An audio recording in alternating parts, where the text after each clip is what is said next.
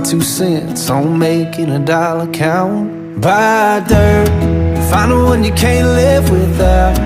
Get a ring, let your knee hit the ground. Do what you love, but call it work. And throw a little money in the plate, it serves.